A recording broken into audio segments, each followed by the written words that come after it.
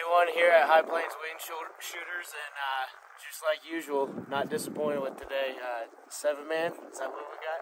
Six, I think. Six man. It's beautiful. Couldn't ask for better weather. Great day for it.